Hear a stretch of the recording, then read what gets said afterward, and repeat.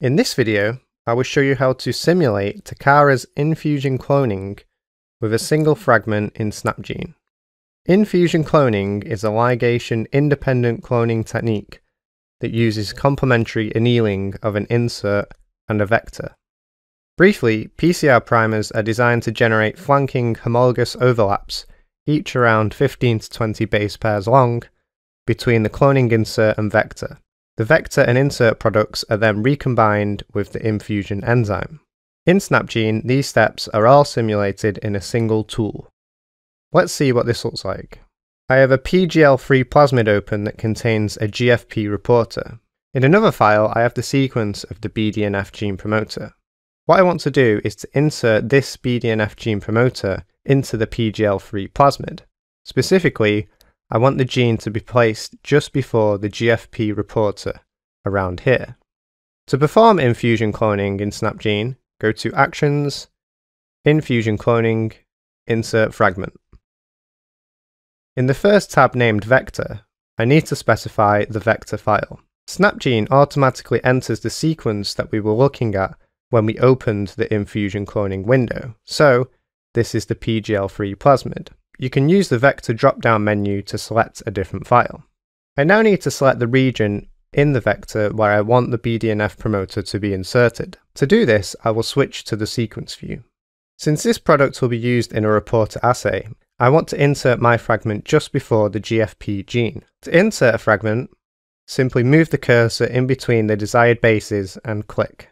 Alternatively, you can click and drag on a region to replace that selected region with the fragment. In the next tab named Fragment, I need to select the file containing the insert of interest. This will be my BDNF promoter file. Again, simply use the drop-down menu to the right to select the desired file. To specify the region to be inserted, I will again switch to the sequence view and highlight the region of interest. In this case, the whole sequence is required, so I'll press Ctrl and A on my keyboard as a shortcut to select the whole sequence. If you need to change the orientation of your insert, you can flip your sequence using the buttons to the right. Moving on to the Products tab, I now need to choose the PCR primers and see a preview of the final construct. To do this, I will select the Choose Overlapping PCR Primers button to let SnapGene design the most suitable primers for this infusion cloning experiment. It's possible to change the desired melting temperature for the PCR primers, but I will leave this at 60 degrees, which is the default value. You can also specify the number of homologous overlapping bases for the primers. The default setting of 15 nucleotides is optimal for single fragment infusion cloning, so I'll keep this and select Choose Primers.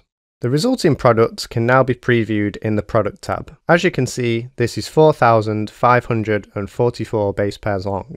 By switching back to the Vector tab, I can see that there are two primers named vector.for and vector.rev that start at the insertion point I selected earlier. The result will be a linearized plasmid.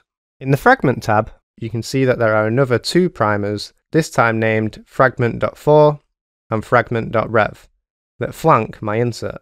In the primer sequences displayed below, the bases shown in red are the overlapping homologous sections that match that at the insertion point in the vector. Finally, I will call the file pgl3-bdnf and click the clone button to simulate the infusion cloning. In the map view, you can turn on history colors by clicking on the show colors button. This will display the vector as black with the newly inserted region in red. By switching to the sequence view, you can see the different primers and the overlaps. The primers view will display all of the primers in the file. Finally, the history view will display the schematic of the simulated workflow. And that wraps up this video tutorial. In this video, you have learned how to simulate infusion cloning in SnapGene. For more information about simulating other cloning techniques in SnapGene, check out the other tutorials on the SnapGene website.